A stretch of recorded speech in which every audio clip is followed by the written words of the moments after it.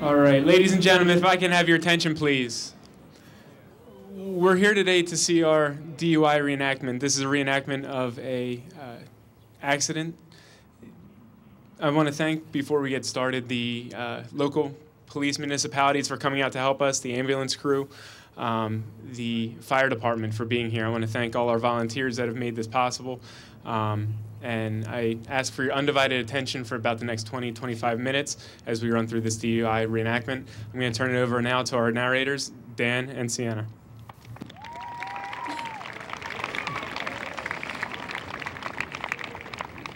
DUI, driving under the influence of alcohol and or controlled substances in Pennsylvania kills, injures and destroys families. The following presentation will hopefully make you think about the possible fate of a DUI collision. The presentation, although not an actual collision scene, should help you visualize the possibilities.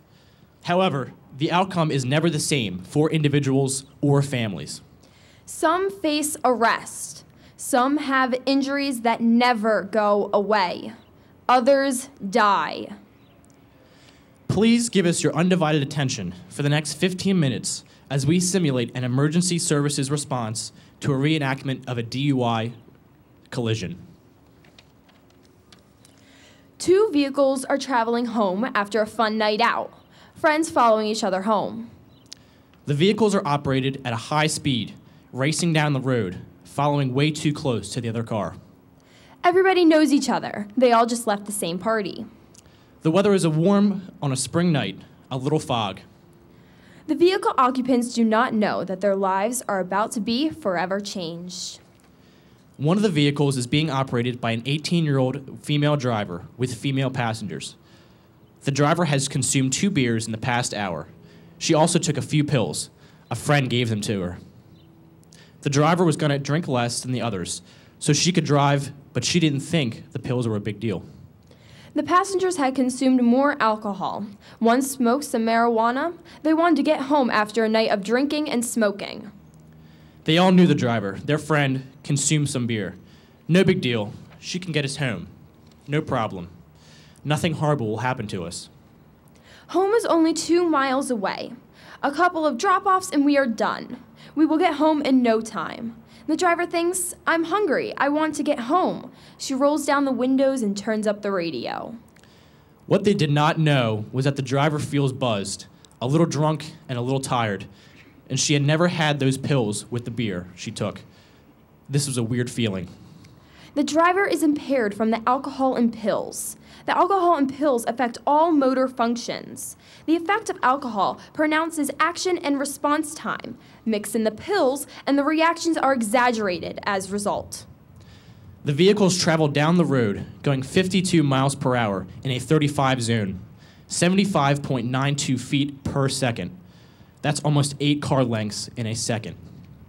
One driver forgets to turn the car headlights on, and no one buckles a seatbelt. We never use them, they say. The driver tries to focus on the road. The steering wheel turns slowly left. Four tenths of a mile later, the driver fails to focus on the road again. Her eyes leave the road. Only a half, a half a second later, long enough to travel 38 feet. The vehicle starts to drift across the yellow lines that protect it from a collision. The friends following behind in the other car think that this is a game. They start to drive extremely close to the lead vehicle. The driver of the car sends a text message while driving to the other driver. Haha, very funny. The lead driver overcorrects, jerks the wheel back right. The lead driver decides to turn into the school lot off Snyder Road, making that turn at 52 miles per hour. The following vehicle pulls right up to the bumper and contacts the lead vehicle. The two vehicles collide. 4,000 pounds versus 3,000 pounds generates a powerful collision that is now accelerated by the speed of the two vehicles as they turn. The two cars come to a rest in a tangled mess on the road. Damage is severe to both vehicles, bad enough that nobody is driving away. Some will leave in ambulances, one dies at the hospital. Collision results in damage to the vehicles and the occupants in each vehicle. The crash forces injuries to the occupants. The other vehicle had multiple people inside, one with no seatbelt in use. The second driver could have avoided the collision, following too closely and driving too fast. Bad decisions that limit response time while driving. The occupants of the vehicles are all stunned, hurt, and scared.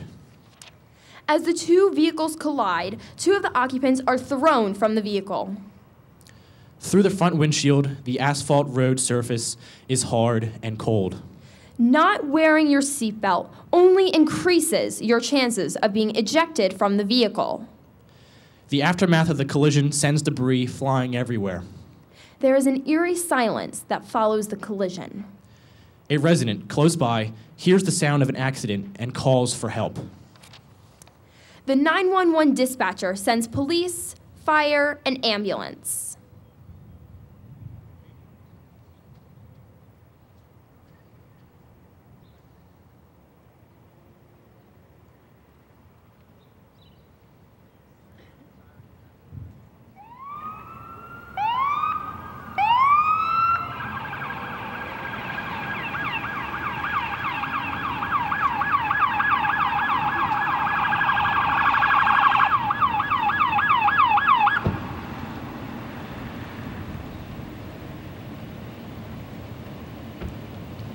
The police arrive on the scene.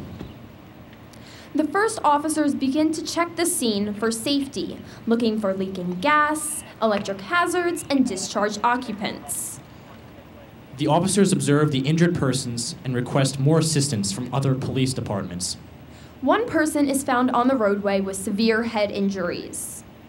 The officer checks for a pulse and continues to check for other victims.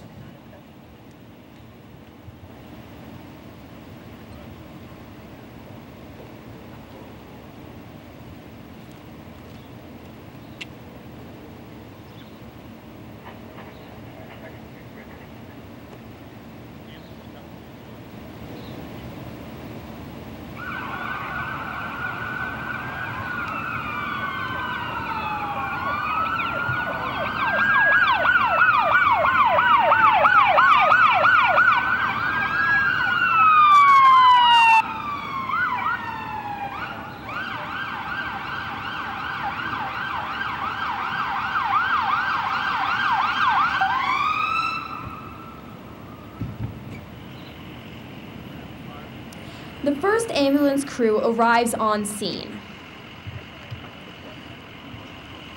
The police officers direct them to the two vehicles.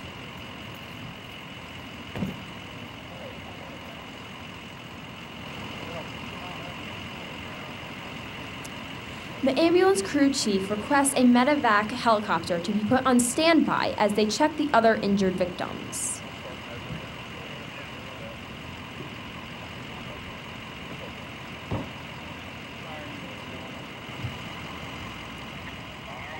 The medics find one victim that needs to be flown to a trauma center due to severe injuries. The medic requests the helicopter to fly. The helicopter should be here in 10 minutes. A police officer smells leaking gasoline. The fire company is advised and they arrive to help.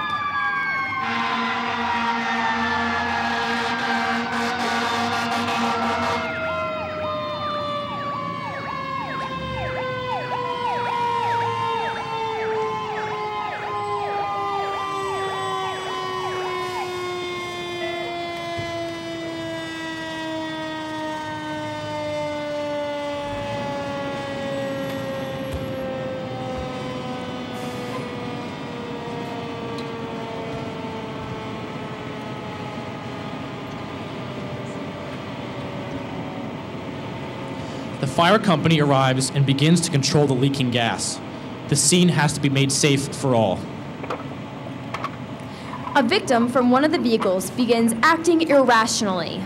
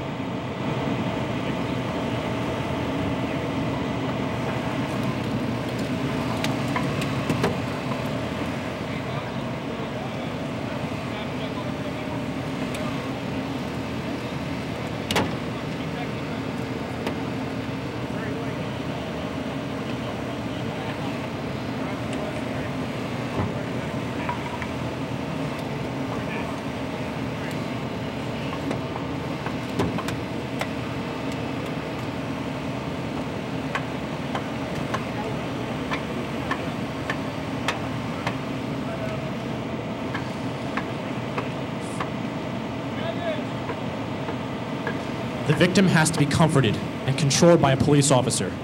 The victim tries to get to the vehicle and begins to interfere with the rescue workers. More police officers arrive to assist in the collision investigation. The ambulance crew continues to move the victim away from the initial crash scene from a trauma flight. The fire company sets up a landing zone close to the scene. The fire chief needs more help and summons another fire crew. The police officers continue their on scene investigation. The officers must determine how the collision occurred. One of the officers detects the odor of alcoholic beverages and slurred speech from the 18 year old female driver. They discover the driver was driving too close to the car in front and rear ended the car. The officer detains that driver. The ambulance crew has the flight patient ready to fly. The detained driver is joined by another police officer. The officers conduct initial field sobriety tests that conclude with the arrest of the driver. Upon arrest, pills were found in the pocket of the driver. The officer recognizes the pills as Oxycontin.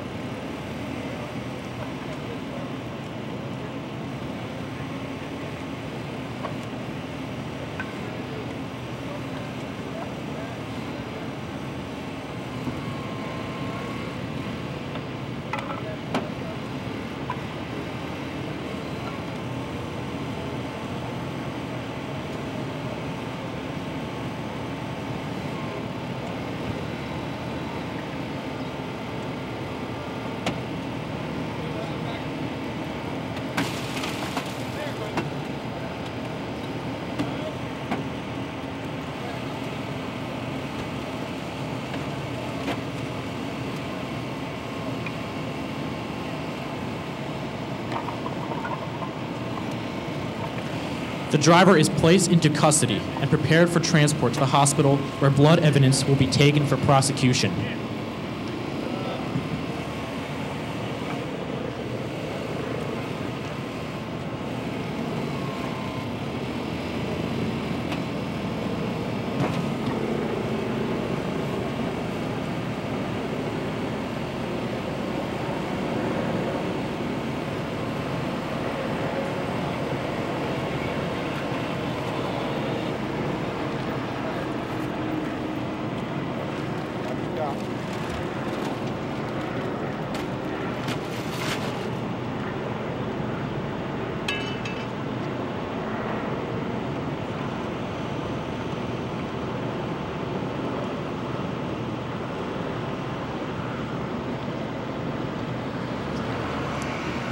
Other victims are moved from the vehicle and their parents are called to come to the scene.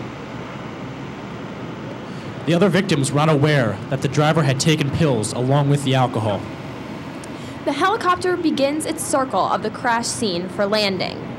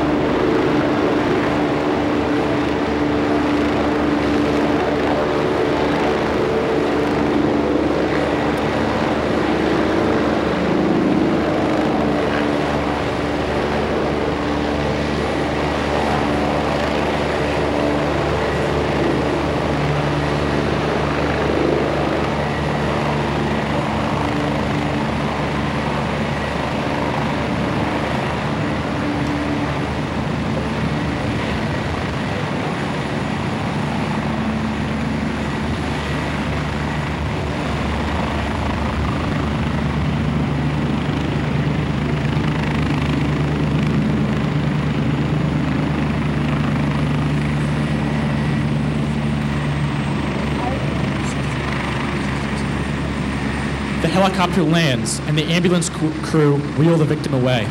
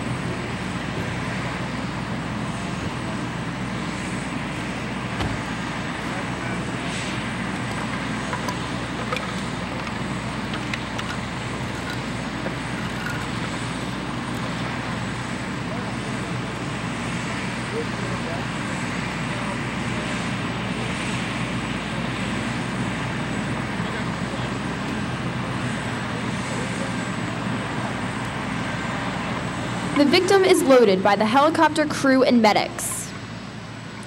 One of the most severely injured dies. Injury is both physical and mental. The effects of both are long lasting. The flight crew and ambulance load the victims into the ambulance for transport to the hospitals. The firefighters complete the job of securing the gas leak. The police continue to investigate the collision. Many hours will follow the on scene investigation. Criminal charges against the, the driver for both DUI and driving while under the influence of a controlled substance and homicide by vehicle will follow.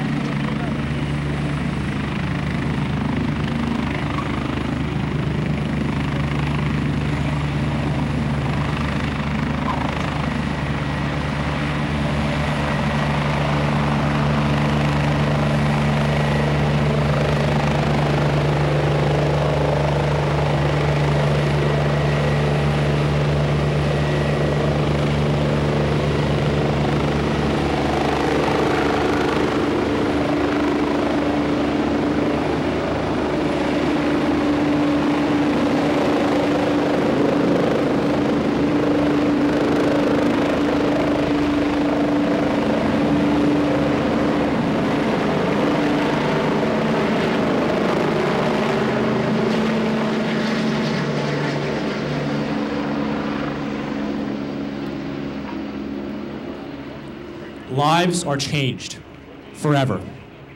The driver that caused the DUI collision will have time to think and soul search in a three foot by five foot cell. DUI is avoidable. DUI is a crime. And DUI costs lives. Think to live. Don't drive drunk.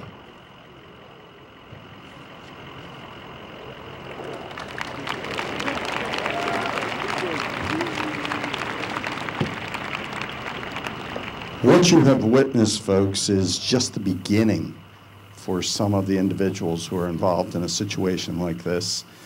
You saw the victims transported. Let's try it again. There we are. You saw the victims transported to the hospital, and you saw the copter fly away. What you haven't seen yet is the aftermath in the court system for those who were driving and those who were involved. And we have a speaker here today. I have Judge Andrea Hudak Duffy from Montgomery Township. She's the district justice. And after the initial impact of an accident, those who were driving, those who were involved, those who were intoxicated, uh, they end up in front of Dr. or to, in front of Judge Duffy. So here she is, Judge Andrea Duffy.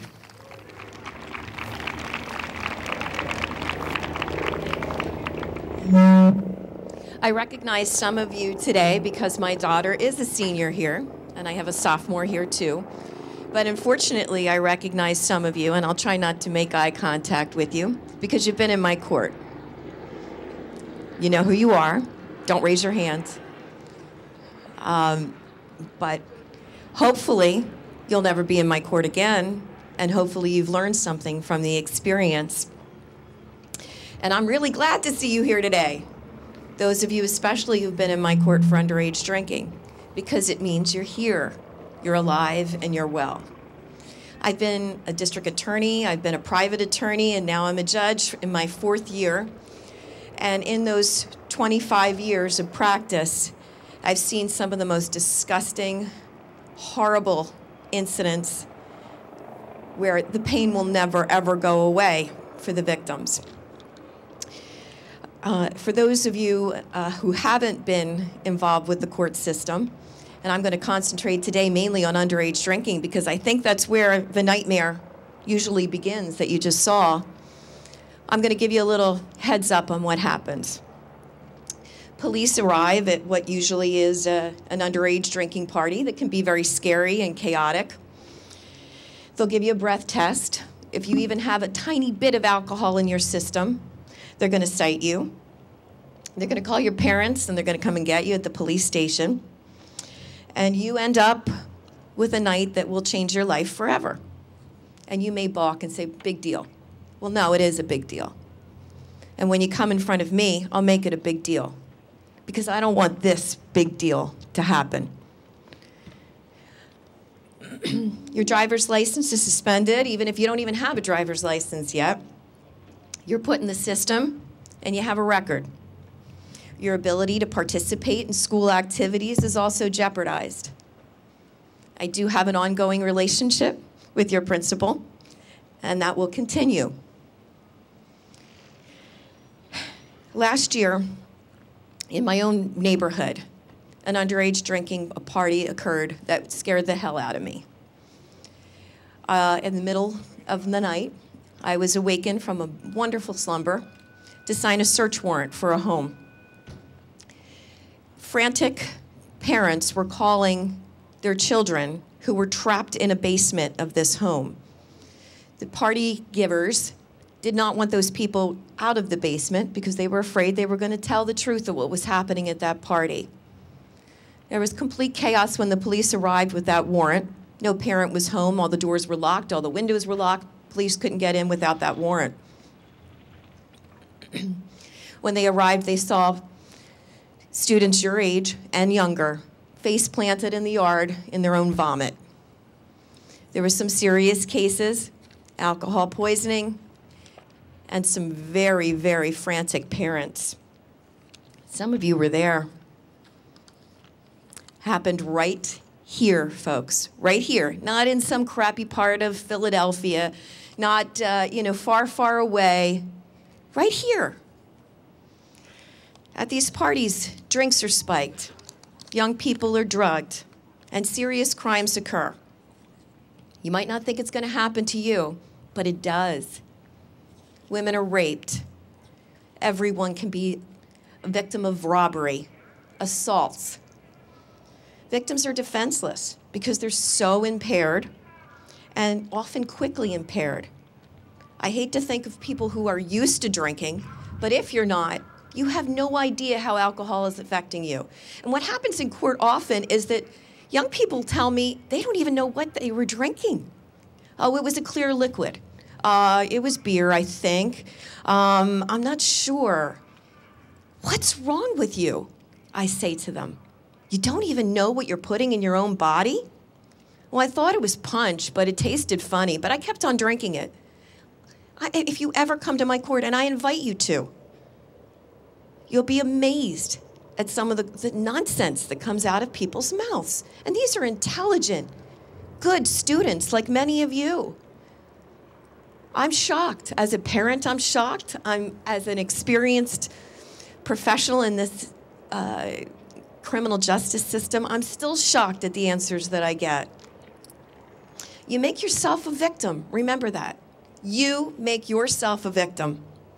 And then there's someone I'll call Jane. Jane came to me when I first started as a judge, so that's almost three and a half years ago. And she was just cited for underage drinking. Jane now is a heroin addict. Jane cuts regularly. Jane just got her first DUI at 17. Jane is someone who lives in my heart every day. I have cried many tears over Jane. I don't know what's going to happen to Jane. But it all started with underage drinking. And I'm doing everything, and so are every authority I can find to help her to get out of this awful, awful cycle. But it started with that first stupid drink because she was hanging out with the wrong people. Know, as you go through your life and in this very, very competitive world, and it is so much more competitive than when I left high school, you're going to be fighting tooth and nail for scholarships, promotions, and college admission. And I say to every defendant who comes into my court, and that's what you're called, by the way. As soon as you're cited, you're a defendant. Do you like that name? I don't like that name, but that's what you are. I tell them there are two piles of people in this world.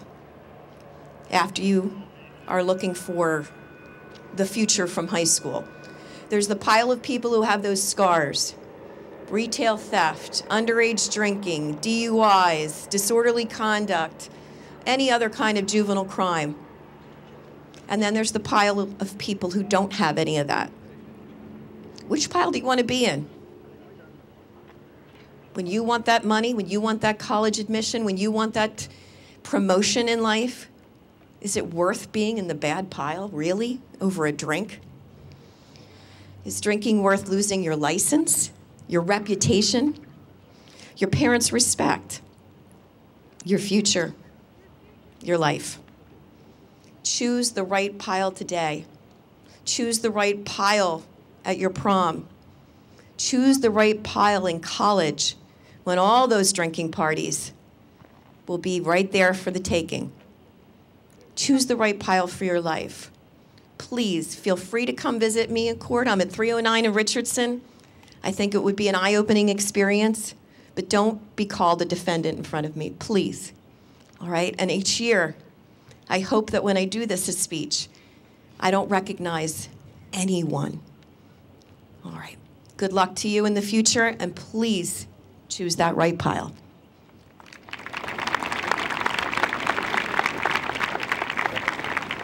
Thank you, Judge Duffy. This is a time for reflection. We take time out of school so that we can do this reenactment so that as we move into prom season and we move into graduation season and those high temptations, you'll think, you'll make the right decision. It's about making the right decision. That's what you heard from Judge Duffy.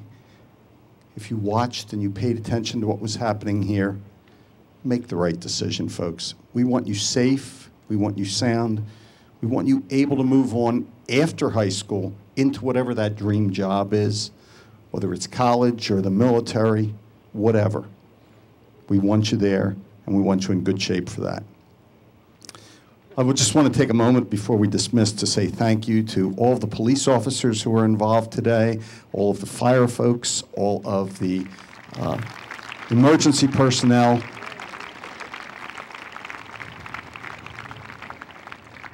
They took time out of their day to be here so that you will think and you will make the right decision.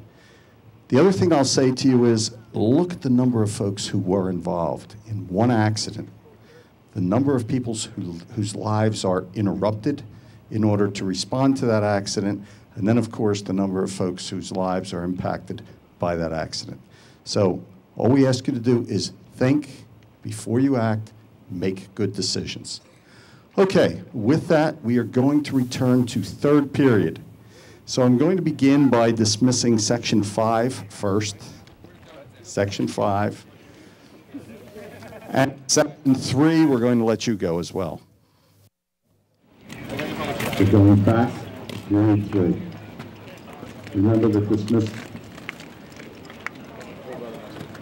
dismissal period four will be the internet.